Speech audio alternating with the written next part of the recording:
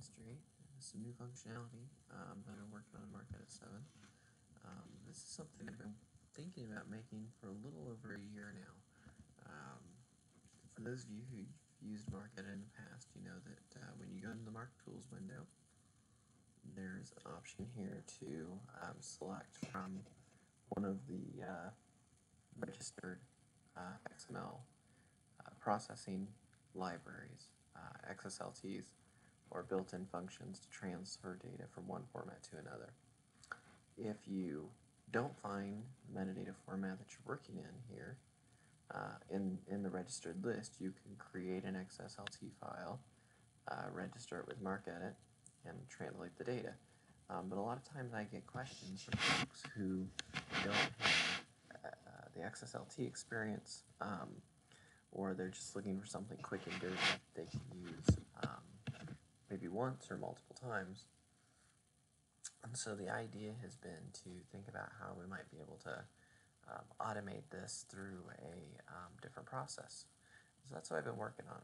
Um, I'm going to go ahead and show you what this looks like. So if we go to Tools and an XML function list, um, you'll see that there's uh, looks different in MarcEdit 7 than in MarcEdit 6. Um, one of the new options though is the XML function wizard. Um, to show you how this works. This allows you to create translations without having to create um, XSLT data. And this actually will work with either XML or JSON data. I'm going to use an XML file. And the file I'm going to use is this one right here. Uh, this is a file that's come out of um, our uh, Ohio State University's uh, Past Perfect database. Um, this is for a specific collection. Uh, you can see that uh, it starts with here what looks like a, schema file of some sort that probably tells me a little bit about what elements are there. And then we have the record data here that uh, is in each one of the records that are in this exported file. So let's see how we handle it. So we could uh, create a style sheet, XSLT style sheet, and translate the data and MarcEdit um, and process it directly. But if you're not a user who knows how to do XSLT, um, you can click on the function wizard and the profiler then will walk you through the steps of creating a translation without having to create any XSLT um, or xquery or anything to process it. So let's create one. So call this past perfect test, and we're going to translate this data to MARC. Um, you can translate the data by default to MARC, MARC XML, or to another XML format. I will explain um, how the other XML format works. Um, so let's go ahead and select. Um, the way this works is you tell uh, MarcEdit um, give it an, a sample of the files you're going to process. In this case, I'll point it to a past perfect file. That's the sample file we're going to use. Uh, profile, we're going to save um, our profile file. You'll notice it's not an XSLT or an XML file. It's a very special extension um, that's uh, defined for Mark. So this will be our profile file, and we're going to translate the data to MARC. So we'll go to the next step. And what MarcEdit does is it goes into the record set for the sample file and extracts um, four top level records. Um, the idea is it's trying to figure out um, what the record data element is. And so in this case, we know this is the schema element. That's not it. Um, we can go ahead and look and see what's in there. Um, okay, so that's not the one that we want, so it's not that one. Uh, we can look at this one and we know that this one here, report data, is the, the node in the um, XML file that represents a record. So every time we see rep report data, that's going to be um, a, a, record. So we're going to go ahead and select that.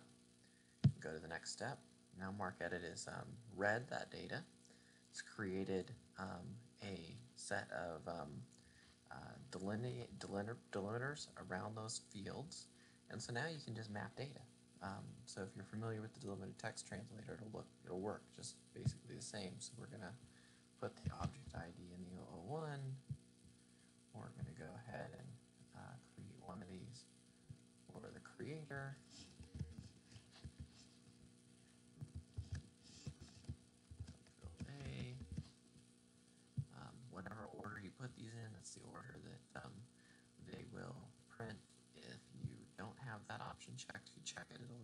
just sort them into numerical order. Uh, I'm going to go ahead and uh, put a title in. I'm going to put indicators in, but I don't have to because there's an option to calculate non-filing indicators. Uh, then I'm going to go ahead and just throw a couple more in here. Uh, we'll go ahead and create a creator 2.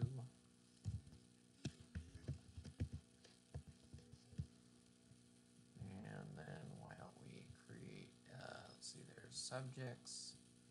Uh, actually, we'll do the description. And you can see that you can join data, so I'm gonna go ahead and create a width. And call this width. And say that's constant data, and then we're gonna create another one.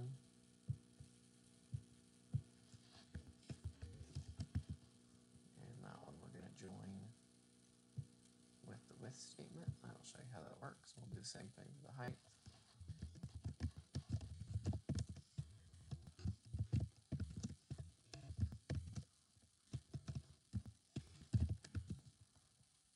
Constant data.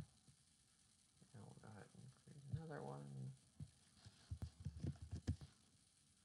And the last one we will do will be um, the subjects. Here's our subjects. We'll put that into 690 because the subjects here are kind of wonky.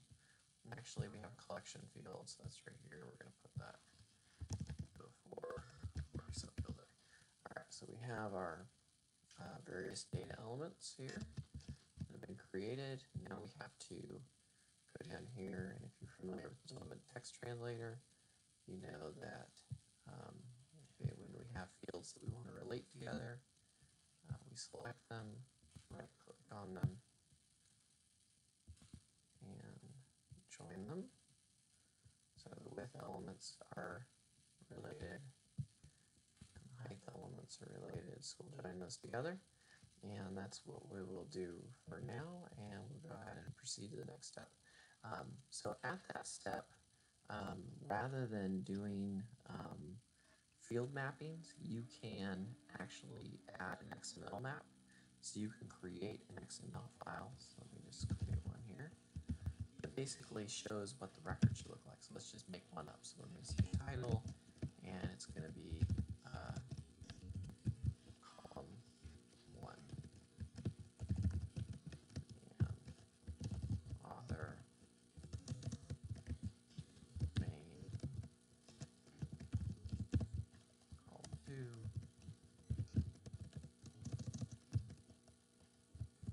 extra,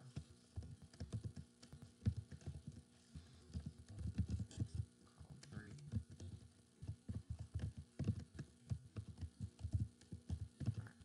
and etc.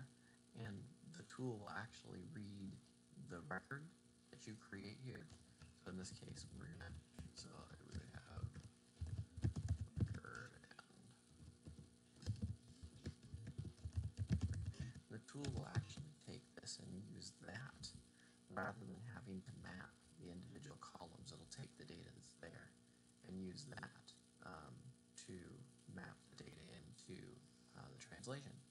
And when you're finished, you it will tell you that uh, you're done. We'll close the wizard, close the tool, and we'll now see here that it is registered in MarcEdit.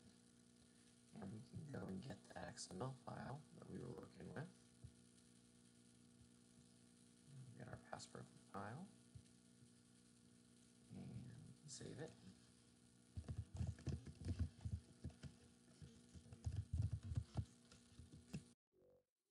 And then we can process it. And we can see that we get 103 records. And so now we can go back and find the file.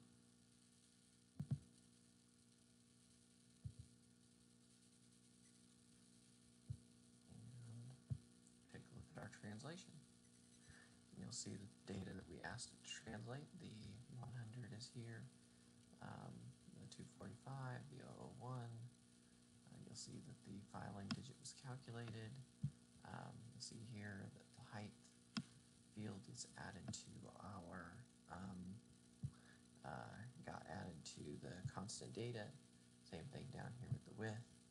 Um, and there's our subject as well as our 440 Um, you'll see these two, the height and the width, aren't next to each other because I told it I wanted to sort the fields, so alphanumerically that's how they get sorted. Um, but you'll see that the translation happened. We moved from XML data to MARC data. We could have went to MARC XML data.